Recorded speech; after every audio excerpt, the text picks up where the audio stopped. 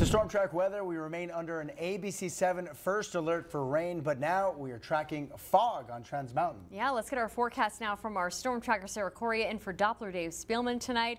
And Sarah, it, those fog chances are going to stick around too.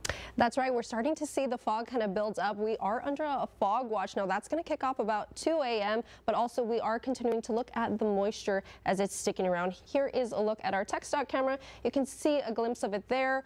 The fog kind of uh, blurring up the visibility in general. So if you are driving upper valley areas, be aware of that as you head out tonight. Of course, the fog does create some road hazards, so we want to keep you and your family safe. If you have any late night travel plans, of course, fog watch preparations. Dense fog is a road hazard, so turn on your low beam headlights, drive slowly, make sure to keep a safe distance from the car in front of you. Of course, roads are still slick, but also now we're adding to that low visibility because of the fog. So if you can, consider delaying the travel. Now we do know this fog watch is in effect till about 10 a.m. tomorrow. So we're anticipating anticipating that fog to kind of work its way back in the morning. So if you couldn't delay your travel till after that, that might be a little safer to do so. But of course, if you have to travel, follow those safety tips. I want to take you now to our Doppler radar. Of course, we're continuing to watch the moisture. It seems like most of the moisture for today has worked its way on eastward. You can see a current look at our Doppler radar shows that the moisture is working its way to the Sierra Blanca region. So El Paso already looking like we've seen the bulk of the moisture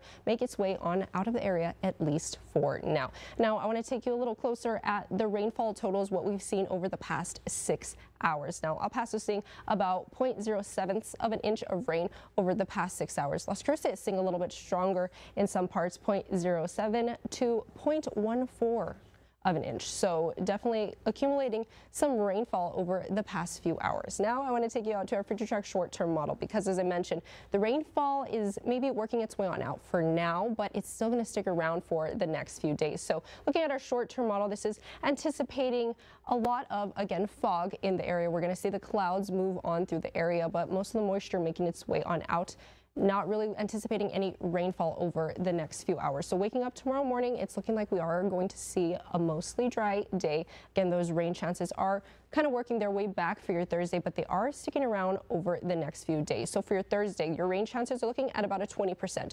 Your Friday, the rain chances increase to about 30. Then come your Saturday, we're looking at some stronger rain chances at about 50%. So if you thought you were out of the clear yet, we are not done. Again, the rain is still sticking around. It's going to taper back for your Thursday, but still be present into your weekend. Now, looking ahead for your temperature tomorrow, looking at 62 for your high El Paso and Las Cruces tomorrow, expecting a high of about about 59. And heading into the holiday weekend, we are uh, getting prepared for the big holiday Monday, of course, Christmas, looking at 55 for El Paso, 52 for Las Cruces. Here's a look now at your seven-day future track sponsored by Mattress Firm Today is the first day, uh, tomorrow, excuse me, is the first official day of uh, winter. Now, we have been feeling some cold temperatures, but tomorrow officially starting winter. We're going to keep those rain chances in our forecast.